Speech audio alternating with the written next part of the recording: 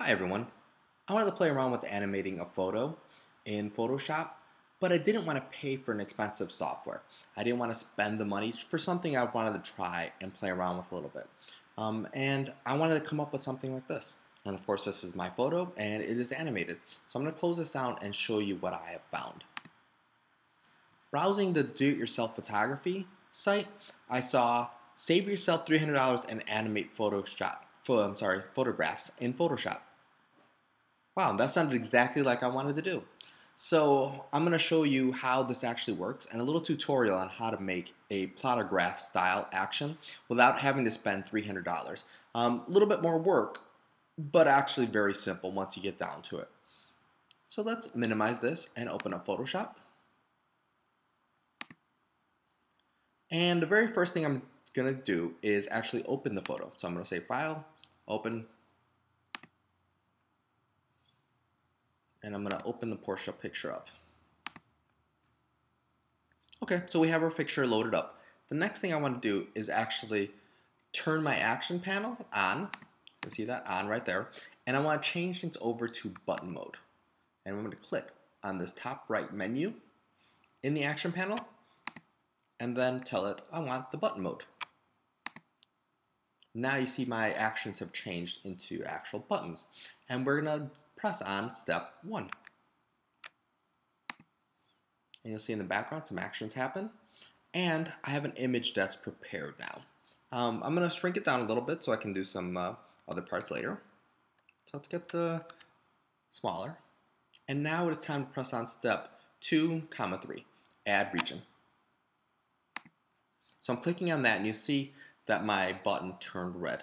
What it's doing is waiting for me to actually apply something to it. So I need to actually select my region. So I'm going to pick my one of my selection tools and say apply to this section right here. And then I'm going to press on quick mask and I'm going to brush in where I actually want the image to be changing or where it's going to select actually. So let's, let's select this part a little bit down here and I think that is going to be pretty good for right now. I'm going to tell my close my quick mask button and now I have a selection set up. Now I'm going to press on the add region again. You can see it applied something and my selection is gone but now I'm doing things and it's not um, showing anything right here. I need to actually continue my action. So what I need to do is edit and transform. And I'm going to do a free transformation on this and I'm going to move it to the right and move it down a little bit so that my clouds actually will change and move with it.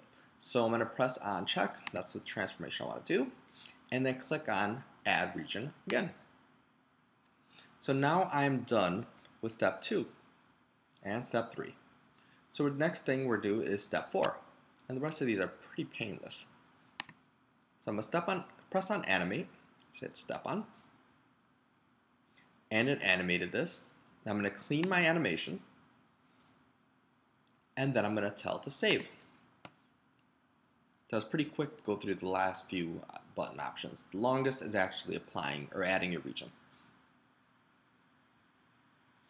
So let's see, I'm working on a little bit older computer, so this will take a little while. Alright, have my animation up.